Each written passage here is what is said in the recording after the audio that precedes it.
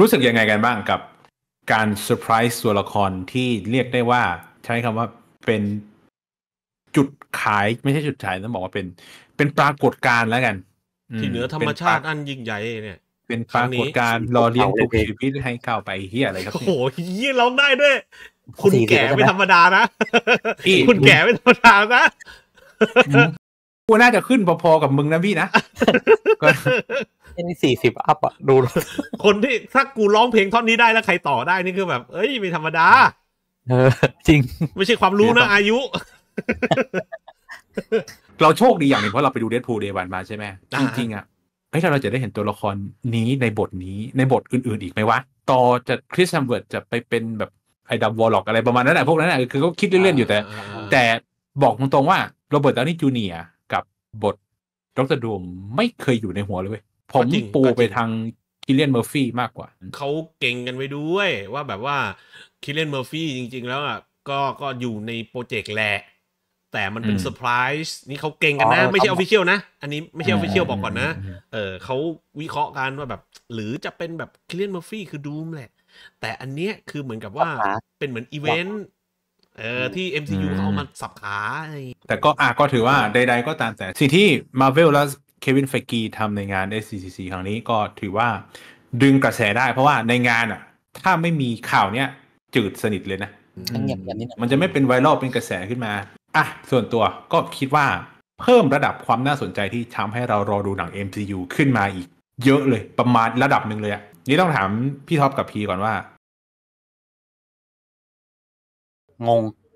ตอนแรกก็งง ตื่นสายไงไอ้ดีซีมันเริ่มมาแล้วตื่นมาประมาณเที่ยงไทยไทยๆอยู่อืมอืมอะไรวะแต่ตัดต่อวะเนี่ยเหมือนแกไปถือ มันเป็นภาพเราไอ้โรเบิร์ตดาวนี่จูเนียร์ถือหน้ากากประมาณนี้ สงสัยเขาอำว่าอยากเล่นตามตามๆดู ก็เห็นเพื่อนๆแชร์กันว่าอ๋อเออเออเขาอยากขายตัวโรเบิร์ตดาวนี่จูเนียร์อีกรอบหนึ่งอืมอืมเขาอยากขายของเล่นให้มึงอะเออเขารอขายของเล่นให้มึง มึงนึกภาพจะมีดูมแล้วก็เป็นหัวโรเบิร์ตดาวนี่จูเนียร์อืม แล้วลายที่กูเก็บคือไอรอนแมนอยู่แล้วด้วยนะ มันก็ต้องมีเปล่าเออต้องมีเติมดิต้องเติมต้องเติมมันต่อให้มึง New เก็บไว้ Mass มึงก็ซื้อ ชอบชอบชอบก็คือแบบก็โอเคดี แต่พอไปสักพักหนึ่งกระแสมันเป็นอืมสองทางอะเนาะบางคนก็แบบว่า เอ้ยทำไมไปหากินกับเขาอีก ในเมื่อเขายืนแล้วว่าเขาจะไม่มาเล่นใช่ไหมอืมเอออันนี้ทั้งบอร์ดฝรั่งแล้วก็บอร์ดไทยนะส่วนตัวพี่ก็ พี่รอดูอะเขาอาจจะสับขาหลอกอย่างที่พี่ท็อปบอกก็ได้แบบที่กระแสที่เขาว่าเขาเป็นทฤษฎีกันเฮ้ยไม่ใช่กูว่านะโอ้ยไม่ใช่ไม่ใช่ ไม่ไม่ใช่เดี๋ยวนะแป๊บนึงนะไม่ทฤษฎีนี้ไม่ใช่กูว่านะกูแค่ทฤษฎีสรุปทฤษฎีที่ที่ในอินเท็อปเน็ตเขาพูดกันมาให้ฟังทฤษฎีที่พี่ท็อปไปอ่านมาอีกทีหนึ่งอะอืมพี่คิดว่าจะเป็นแบบนั้นเพราะว่าฝรั่งเขาก็เชื่อกันแบบนั้นว่าคิลเลียนเมอร์ฟี่ยังไงก็เป็นเต็งหนึ่งจะบอกว่าฝรั่งเนี่ยมึงมึงก็มึงก็เชื่อมันไม่ได้ทุกอย่างอะนะคือยิ่งชาวเน็ตฝรั่งเนี่ยมึงอืมชาวเน็ตฝรั่งบางคนแม่ง สมัยไบเดนเป็นมันยังบอกว่าจริงๆทรัมป์ยังเป็นประธานาธิบดีอยู่เบื้องหลัง เขามีเซ็นรับคำสั่งรับหาเหวอะไรกันไม่รู้จนแม่งบุกทำเนียบขาวกันน่ะไอ้นั่นก็ปั่นกันในเน็ตนี่แหละ ตอนที่ผมเห็นข่าวนี้ครั้งแรก ผมรู้สึกเซอร์ไพรส์เออเซอร์ไพรส์เหมือนทุกคนเซอร์ไพรส์เซอร์ไพรส์ที่เหี้ยเลยเซอร์ไพรส์แบบอืมเฮ้ยในใจคือแบบเหรอ RDJ เลยเหรอะไอรอนแมนนะคนที่แบบไอคือน้ำลายสองเอิกแล้วไอรอนแมน เพียง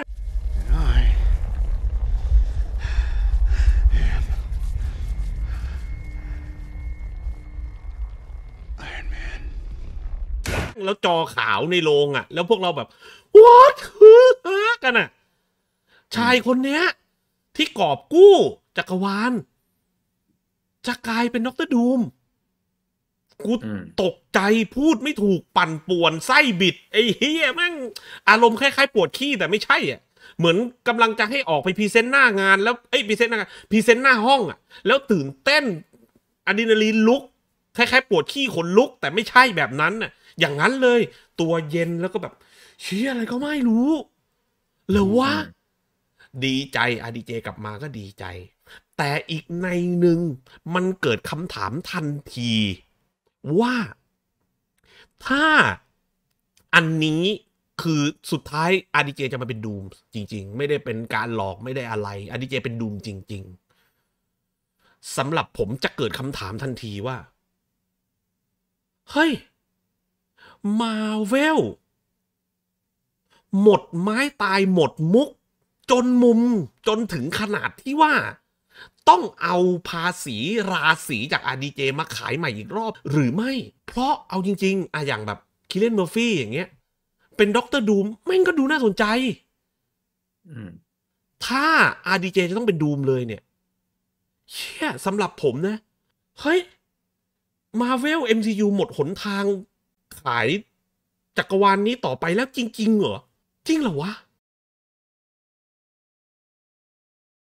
Marvel กำลังจะตายจริงเหรอ แต่ Marvel จะตายหรือไม่เนี่ย อย่างน้อยๆ RDJ กลับมาครั้งนี้รับเละ สิ่งนี้ไม่มีอะไรเปลี่ยนแปลง RDJ รับเละแน่นอน แต่สิ่งที่ผมกลัวคือ เชี่ยมันมันถ้าถ้าถ้ามาเวลไม่ได้เตรียมเซอร์ไพรส์อะไรไว้ให้เราอะแล้วนี้คือความจริงแล้วมันเป็นความจริงจริง ๆ ที่ เราจะต้องเจอผมผมก็โอเคนะ ผมก็รอดูอย่างนี้ดีกว่า ผมไม่ได้ตัดสินปามาว่ามันสนุกหรือไม่สนุก แต่มันเหมือนกับการขยับขยื่นครั้งนี้ของเขาอะมันทำให้เรารู้สึกว่าโหตันแล้วจริง ๆ เหมือนกันนะเนี่ย เข้าใจไหมมันตันแล้วเหมือนกันนะนักแสดงมีเต็มเลย ต้องคนนี้เอาคนนี้กลับมา เท่านั้นอะไรเงี้ยแต่ว่าเชื่อใจมาเวลไหมก็ก็คงพูดไม่ได้ขนาดนั้น แต่ ในเด p พูเนี่ย มันเปิดอีกหนึ่งความเป็นจริงใหม่ที่ทำให้เราให้ให้เราแบบมีประเด็นที่เราน่าจะจะจับขึ้นมาพูดถึงแล้วมันน่าจะเป็นพอยต์สำคัญในการเล่าเรื่องต่อไปของ Marvel ได้ นั่นคือ Ankle Being จักรวาลไหนที่ Ankle Being ตาย จักรวาลเมืองจะค่อยๆสูญสลาย แต่อีกความเป็นจริงหนึ่งก็คือ สปอยนะครับ ใครยังไม่ได้ดูเด p พูถอดหูฟังไปก่อนมมการที่ คุณสามารถหา Ankle Being ตัวอื่นมาทดแทนได้ จักรวาลคุณจะได้ไปต่อ ทีนี้ผมมานั่งคิดเล่นๆนะในมุมมองของคนคนเล่าเรื่องคนหนึ่งแล้วกัน จักรวาล616เนี่ย หรือ19อะไรก็ตามแต่ Iron Man ตาย เป็นไปได้ไหมว่า Iron Man ที่ตายไปจะเป็น Ankle Being ของจักรวาลนี้ แล้วพวกเขาต้องการหา Anchor Being คนใหม่ มาแทน Iron Man แต่เขาไม่สามารถดึง Iron Man จากจักรวาลอื่นมาได้ ก็เลยต้องเอา Iron Man ที่เป็น Dr.Doom เพราะว่าแม้กระทั่งตัวของ Fantastic Four เองเราก็เห็นมีทั้งหลายหลายรูปแบบแล้วใช่ไหมเออทั้งแบบของ Marvel เองทั้งทั้งนู่นนี่นั่นผม ผมก็กำลังคิดอยู่ว่า มันออกหน้านี้ได้ไหมวะเอ้ยคือกูต้องตามหา Anchor Being คนใหม่แล้วก็ไปตามอะเหี้ยกูเจอแล้ว Iron Man พอเอากลับมาไอสัตว์ไม่ใช่ Iron Man อืมแต่มันคือ Doom ในอีกจักรวาลหนึ่งในอีกความเป็นจริงหนึ่งอืมพอเข้ามาแล้วแม่งก็ทำให้จักรวาลกูชิบหาย อ่าเพราะว่าสุดท้ายแล้วมันต้องลากไปซีเค t วอลแล้วใช่ไหมล่ะอ่าใช่ อืมก็เลยตั้งคำถามว่าเป็นไปได้ไหมถ้าจะมาเวนี้ คืออาจจะมีดูมอีกคนหนึ่งจริง ๆ เหมือนที่พี่ท็อปบอกจริงอืมๆแต่อีกคนเนี้ยคือคนที่จะหามาแทน เป็นไปได้ไหมไม่ไม่รู้ผมอ่าคิดอ่าเล่จุดนจุดจุดนี้ผมเห็นด้วยจุดนี้ผมเห็นด้วย ผมเห็นด้วยอืมว่าถ้ามันออกทรงนี้เนี่ย เออ มันดูอืมน่าสนใจ มันดูน่าสนใจในการแบบอ๋อ มันจะคลาย มันจะคลายปมผมได้ว่า อ๋อโอเค สาเหตุที่เอา RDJ กลับมาเพราะมีบท มีไอเดียบทไว้แล้วว่าแบบอ๋อพี่น้อง loser เสนอ พี่น้องไม่ไม่ใช่พี่น้อง loser พี่น้อง Russo ครับครับครับๆเสื้อไอ้เหี้ยไปบูลลี่เขาซะละลิ้นละละลันเลย พี่น้อง Russo เขามีไอเดียเสนอกับ Feige เสนอกับทีมบทใช่ป่ะเขามีอืมไอเดียมาเสนอบอร์ดว่าจะทำอย่างนั้นอย่างนี้หนึ่งสองสามสี่มันเลยได้เคาะมาไงว่าอ๋องั้นก็แบบ RDJ เพราะอย่าลืมนะ ผมมองว่าอันนี้ผมผมเดานะ ผมวิเคราะห์นะว่า ตัว Kevin Feige ก็คงไม่โอเค กับการที่ถ้า RDJ กลับมาแล้วจะต้องทำลายภาพความทรงจำดีๆ เพราะขนาด Hugh Jackman เองอะ่ะเจ้าตัวอืมจะกลับมาเป็นวูฟ v รีน Kevin Feige ยังเบรกแต่แรกเลย อืม เออว่าแบบเฮ้ยมันคุณคุณไม่ควรกลับมานะ มันมันจะทำลายนู่นนี่นั่นอะไรอย่างเงี้ยคือคือผมเชื่อว่าเควินไฟกีก็คงรู้สึกอย่างเดียวกัน แบบนั้นกับตัวละครไอรอนแมนของ RDJ แหละ แต่ถ้าสมมติอันนี้ต้องบอกก่อนนะ อันนี้คือเราเพ้อกันนะ ถ้าสมมุติสิ่งที่เราเพ้อกัน เป็นในแบบไปในทิศทางที่คุณอุ้มพูดเมื่อตะกี้ก็คือเฮ้ย เฮียสุดท้ายแล้วเนี่ย มันมีเหตุการณ์บางอย่าง ที่จะต้องทำให้กอบกู้จักรวาลนนี้อืมอ่าโดยที่ Ankle Being คือ RDJ คือคือโทนี่สตาร์กแล้วจำเป็นที่จะต้องเอาอะไรต่างๆ ก็เลยแบบเกิดเหตุการณ์นี้สุดท้ายมันจะมีเหตุการณ์ที่ต่อยอดไปสู่เหตุผลว่าทำไม ดูมคนนี้อืมถึงจะต้องหน้าตาเหมือนกันกับไอรอนอาจจะเป็นจักรวาลที่อย่างที่เขามีข่าวมาทอมครูซคือไอรอนแมนอืมก็ได้ในจักรวาลนั้น ถูกไหมจักรวาลนั้นอืมไอ้ Tony Stark คือ Tom Cruise แล้ว Victor Von Doom ก็คือ RDJ เนี่ยมันมีคำหนึ่งที่เขาบอกว่า new mask same task อืม same task task task คือหน้าที่หน้าที่อืมการทำงานหน้าที่ของ RDJ ก่อนหน้านี้คือการอะไร คือการช่วยจักรวาลไว้อืมกู้จักรวาลไว้กู้กอบกู้อ่าก็ถ้าเป็นถึงเหมือนที่เรามานั่งมโนกัน ก็หมายถึงว่าอาจจะต้องกลับมากู้จักรวาลนี้หรือเปล่า ก็ไม่รู้ เอาจริงๆและแอนเลโนแอบแซวเหตุการณ์นี้นะ โดยที่เจ้าตัวน่าจะรู้รู้เรื่องราวตรงนี้ หรือเปล่าไม่รู้นะอืมไม่รู้นะแต่กูแค่วิเคราะห์เฉยๆ เพราะว่ามันแบบ I am Marvel Jesus นี่มันคือแบบ มีคนเดียวที่พูดอะอ่าอ่าอ่าอ่าเข้าใจปะอ่ามันเหมือนนางเป็นไปรู้ได้ข่าวอะรู้ข่าวหลุดอะแล้วก็แบบเออกูขอหน่อยซีนนี้อะไรเงี้ย I am Marvel Jesus อะไรเงี้ยสุดท้ายมี Jesus ตัวจริงออกมาอะไรเงี้ยเออนะครับใดๆก็ตามแต่ดิสนีย์อืม ถ้าพอดออกมาเป็นเหมือนเมื่อกี้ มึงเตรียมตัวไปอยู่กับ Universal กับ Fast ได้เลยอืมกูเคลมทุกบาทนี่กูพูดแล้วนะ เป็นหลักฐานนะเพราะพอดเมื่อกี้กูนั่งมโนกันนะเออได้ได้ได้ที่เหลือถ้าสมมติสมมติเป็นเวนั้นเป็นเวนั้นนะที่เหลือผมก็จะฝากความหวังไว้ที่พี่น้องลูโซอืมเอางี้ เอางี้ ผมเป็นคนที่ โอเคเราเห็นผลงานที่พี่น้องลูโซทำ Avengers Endgame มามันดีโคตรอะไรอย่างเงี้ยตั้งแต่ Infinity War ด้วยอะไรเงี้ยเขาเขาทำผลงานได้ดีในจักรวาลนี้ แต่พี่น้องลูโซหลังจากจบ Endgame เขาก็ไปทำผลงานเขา ซึ่งผลงานเขาเองพอไม่ได้อยู่ในจักรวาล MCU อะมันก็อืมไม่ได้เป็น Masterpiece ขนาดนั้นอะมันก็ยังดีกว่าแข่ง Dynasty อ่าอ่าโอเคโอเค อันนี้ไม่เถียง อันนี้ไม่เถียงอันนี้ดีกว่า ถ้ามันเป็นแบบนั้นอย่างที่เราคุยกันอย่างที่คุณอุ้มพูดมาเสนอทฤษฎีนั้นโอ้โหคนเขียนบทการบ้านหนักมาก ควรจะต้องหนักแหละถ้าถึงขนาดที่ว่าจะปิดเฟสแล้วอะมันไม่สามารถทำให้เทียบเท่าเอ็นเกมได้ มันต้องดีกว่า หรือต้องทำคนไฮป์กว่านั้นน่ะ หรือเทียบเท่ากับเอ็นเกมเป็นอย่างน้อยอะโค้ดคำนี้ไหมเทียบเท่าเอ็นเกมถ้ากูเป็นพี่น้องลูโซนะไอ้สัตว์ ค่าตัวสองเท่ากูยังคิดหนักเลย คือถ้ามันเฮี้ยกว่านะแทนที่ว่าจะจั่วได้ป๊อกเก้านี่คือมันแบบบอดได้เลยนะ คือมันแบบแทบจะหมดตัวภายในครั้งเดียวภายในกระสุนนัดเดียวเลยนะ แต่ถ้าพี่น้องลูโซทำไออีเวนต์ใหญ่ Doomsday กับ Secret War มาได้ปังผมขอแค่เทียบเท่าเอ็นเกมนะ กูบอกเลยสองคนนี้จะกลายเป็นตำนานทัน เพราะทฤษฎีเขาว่าไว้ว่างานศิลปะ ที่โด่งดัง ถ้ามันทำได้ครั้งแรกคือฟลุกแต่ถ้ามีครั้งที่สองมึงฝีมืออืมเออ ถ้ามีครั้งที่สามมึงแม่งของจริงว่ะ ระดับตำนานเข้าใจปะอืมถ้าพี่น้องลูโซ่แม่งย้ำได้อะโอ้โหกู กูเออ กูจะซูฮกของแท้ ว่าแบบเออพี่น้อง Russo ถึงแม้ว่าจะทำผลงานตัวเองนอกนอกจักรวาล MCU อะมันจะดูแบบอืมก็ก็ดูเพลินเพลินสนุกสนุกมันมันเรื่อยๆเปื่อยๆอะไรเงี้ยไม่ได้ masterpiece มากครับว่างั้นเถอะ แต่อืมพออยู่ในจักรวาล MCU จะอยู่ในจักรวาล MCU ลิ้นพันแล้วนะลิ้นเป็นเหี้ยลิ้นเปลี้ยเหี้ยเฮ้ยพอมันแต่พอสองพี่น้องทำผลงานภายในจักรวาล MCU อืมสองคนนี้แม่งมือทอง ในบ้าน MCU จริง ๆ เราจะได้พูดเต็มปาก ตอนนี้คือมันยังไม่เต็มปากไงอืม อืม แล้วอีกอย่างหนึ่งมันมันจะมีอย่างหนึ่งเนาะที่ อะผมจะใช้คำว่าหลาย ๆ คนแล้วกัน ยังยังเวลาที่เราจะเทียบอะไรสักอย่างนะครับอืมเราต้องเทียบกับสิ่งที่มันมันมันมีมาก่อนหน้าอืมเราไม่สามารถเทียบอะไรกับสิ่งที่มันจะเกิดขึ้นในอนาคตได้อยู่แล้วไม่ว่าหนังจะดีหรือไม่ดี มันจะเจ๊งหรือไม่เจ๊งมันจะหาเหวอะไรก็ตามแต่ว่า คุณต้องเทียบกับบรรทัดฐานที่มันเกิดขึ้นทำไมหนังภาคแรก มันถึงมีภาษีมากกว่าหนังภาคต่อเสมอ เพราะมันไม่มีตัวเปรียบเทียบ เต็มที่คือเรื่องอื่น ซึ่งมันเทียบกันตรงๆไม่ได้ แต่พอมันมีภาคสองออกมาเนี่ย ชัดเจนว่าตัวเปรียบเทียบมันคือภาคแรก อืมหรือแม้กระทั่งผลงานต่างๆ ที่ตามมา เฮ้ยทำไมเราถึงชอบบ่นอีเฟดแคงสเตย์เนี่ยกันเยอะนักว่าเพราะว่ามึงเป็นมัเฟนสที่เทียบอ่อกับนแอสุดเลยเฮียเป็นเฟสที่อ่อนแอสุดเลยตอนเนี้ย ใช่พอมันเทียบกับเฟสแรกที่มันออกมา ไอ้เชี่ยมัน คนละเรื่องไอ้อะเชี่ย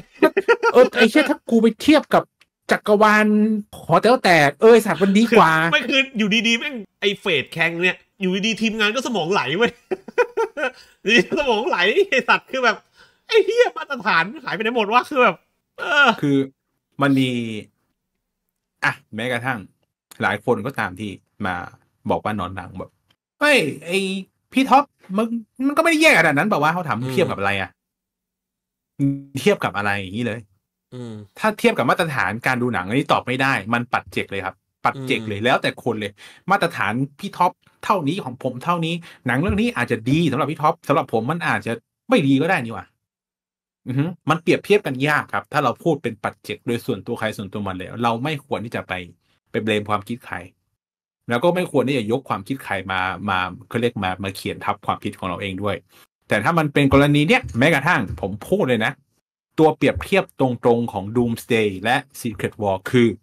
Infinity Infinity ทุย Infinity War และ Endgame ฟินิตุ้ยซะแล้วใช่ ไอ้สองอันเนี่ยมันจะเป็นตัวเทียบตรงๆเลยอ่าว่ามันจะดีหรือไม่ดีเหมือนกันครับทำไมเรารู้สึกว่า Endgame กับ Infinity War มันดีขนาดนั้น เพราะตัวเทียบก่อนนี้ของมันคือ Age of Ultron ทำไมเราถึงว่า Age of Ultron มันดูแย่เพราะว่าภาคแรกแม่งเสือกดีไง เพราะฉะนั้นเรื่องพวกนี้มัน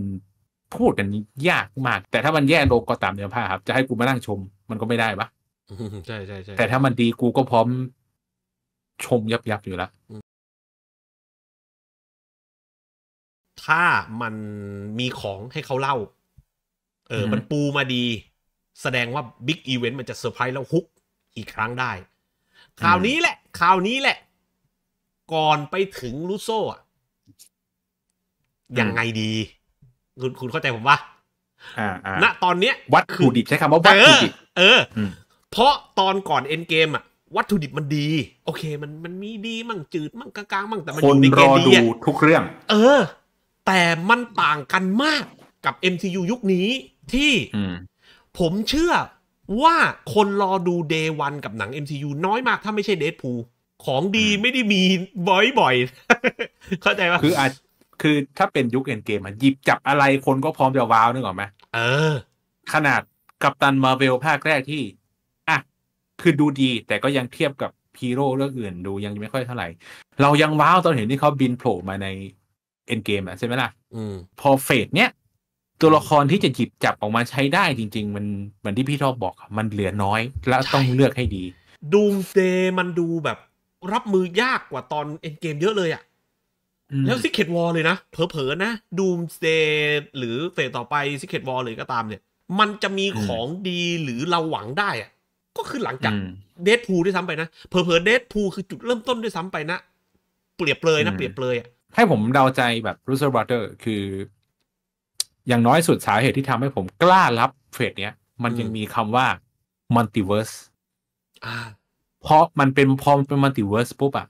สิ่งที่น่าสนุกอย่างหนึ่งที่มันจะเกิดขึ้นในจักรวาลนี้ก็คือว่าเฮ้ยเราจะดึงตัวละครเก่าขนาดไหนมาเล่นก็ได้เว้ยอืมกูอาจจะไปดึง Andrew Garfield มาเป็นสไปเดอร์แมนกูอีกครั้งหนึ่งไปดึง X-Men ของเจม c อ v ว y ของชาวของเจม c อ v ว y มายำกันอีกเรื่องหนึ่งคือเด p พูทำให้เราเห็นแล้วว่าแม้กระทั่ง Bladeเราก็สามารถกลับมาเห็นเขาได้อีกครั้งหนึ่งซึ่งความเป็นไปได้มันมีมากขึ้นแล้วอย่างน้อยจุดที่ทำให้คนว้าวคือแบบ อาจจะได้เห็นตัวละครหลักพวกเนี้ยโผล่มาในแบบหนัง a อเวนเจอร์อีกสองภาคที่เหลือ ใครจะไปรู้คุณอาจจะไปเห็นสไปเดอร์แมนตัวเอกโผล่มาก็ได้ อย่างน้อยๆกูว่ามีสไปเดอร์แมนมากกว่าหนึ่งเนี่ยเออมันต้องปัจจุโผล่บันมาอยู่แล้สวไปเดอร์แมนโคตรเยอะเลยมึงไมค์ก็น่าจะมีมั้งก็อาจจะมีโผล่มากว่าจะมีถึงยับตรงนั้นน่ะเข้าใจป่ะกว่าจะถึงตรงนั้นอืมอาจจะเป็น Miles version ที่เป็นแบบ Into Spider-Verse อะเออแต่โผล่มาแบบคนแสดงอะไรอย่างเงี้ยก็อาจจะมีโผล่มา พอมันเป็น Multiverse ปุ๊บอืมเดาทางคือเนี่ย จุดที่จะทำให้คนเซอร์ไพรส์ได้คือตัวละครเก่าๆที่เคยรับบทพวกเนี้ย ใครจะไปรู้คุณอาจเห็น Johnny Storm ของ Chris Evans น่าสนุกเอาแล้วนึกภาพอี Johnny Storm ปากแม่งหมาไหมอะแต่คุณอุ้มอย่าลืมนะว่า ตัวละครสองตัวเนี่ยหุ่นคนละแบบ อือฮึเออจอห์นนี่ CG สตอมมันเหมือนแบบทีมที่พี่ปั่นเลยพี่แล้วพี่ไม่เอา CG พี่ใช้ stand-in แล้วก็แบบใช้แบบ CG แบบแปะหน้าเข้าไปก็ได้ไหมกูนึกภาพว่าจอร์ อืมอีแวนสองคนคนหนึ่งสุภาพหน่อยอีกคนหนึ่งแม่งก็ปากหมาสัตว์อะไรเงี้ยน่ายืนด่ากันกูเชื่อเลยนะ Chris Evans ขอเอ่อผมผมขอปั้นหุ่นแบบ Human Torch นะครับ แล้วเดี๋ยวใช้ stand-in กับมาพันสเอาบายเออสบายสบายง่ายไม่ก็ใส่ใส่ชุดเหมือนอีตานี่ไง Homelander ไม่ไม่ไม่อันนี้ไง Shazam อะ Shazam อะอาจจะอ่าแย่ใส่ชุดใส่อย่างชุนั้ดนอย่างนั้นก็ได้ใช่ไหมซักรีดีว่ะเออเฮ้ยแต่พอเออนึกมุมนี้แล้วมันน่าสนุกปะเออ ก็ก็น่าสนุกก็น่าดูสสนุนุกกดูดูสนุกมาก ผมไม่หวั่นอะไรเลยนะ ผมหวั่นแค่อย่างเดียวว่า การขยับของ MCU อะการเอา RDJ กลับมาเราก็ดีใจ เราก็ปราบปลื้มซาบซึ้งตอนเห็นโปรโมตตอนเห็นงาน SDCC ผมก็ตกใจ แต่มันเหมือนกับว่า เท่าแก่เหมือนเราเป็นเราเป็นลูกค้าแล้วเรารู้สึกเห็นเท่าแก่ใช้โปรโมทแบบเนี้ยเฮียบริษัทเฮียจะเจ๊งเหรอครับทำไมเฮียโปรโมทแบบนี้ เข้าใจว่าคือความรู้สึกลูกค้าอย่างผมจะรู้สึกแบบเฮีย นี่แบรนด์เฮียจะปิดตัวลงพรุ่งนี้หรือเปล่าทำไมเฮียแบบเหมือนควักไม้ตายไม้สุดท้ายก่อนตายอะเข้าใจว่าเออนึมึกงภาพแบบว่าเฮียอย่าอย่าพึ่งนะนึกนึกภาพแบบว่าแบบมึงกำลังแบบสไปเดอร์แมนกำลังจะโดนแบบเฮียแบบอืมเวทเวทเวทเวทสักอย่างหนึ่งลากลงนรกแล้วแบบไอ้เฮียนิกแคร์ที่เป็นโกดไรเดอร์แบบมาดึงขึ้นไปเฮียมึงไม่ว้าวกันเหรอวะไอ้กูเป็นว้ารูวเซอดิร์โบว้าวโตว้าวดิว้าวดิใช่ กูเป็นรูเซอร์โบโตกูก็คงไอสัตว์กูกูรู้ละไอ้เฮียไม่เป็นไรกูรับเพราะกูมีของให้กูเล่นละนั่นหมายความว่าต่อไปนี้หน้าที่ของดิสตี้มึงไปเจรจาเรื่องเรื่องลิขสิทธิ์มาให้กูให้ได้แค่นั้นพออืมที่เหลืออมกูยำของกูเอง อ่า ก็น่าสนใจถ้าออกมา way นี้ เออเนี่ย แจกของเหมือนเซิร์ฟจะปิดสำหรับกูอะที่ที่ผมรู้สึกว่าแบบไอ้เฮียนี่คือแบบทำขนาดนี้มาเวลจะตายแล้วเหรอคือแบบเหมือนกับเขาแบบ hard sell เหมือนเซิร์ฟจะปิดพรุ่งนี้อะเข้าใจปะไอ้เฮีย มึงคิดว่าค่าตัว RDJ กลับมาเล่นครั้งนี้มันจะน้อยๆเหรอ มันไม่น้อยนะ คือแบบเฮียมัน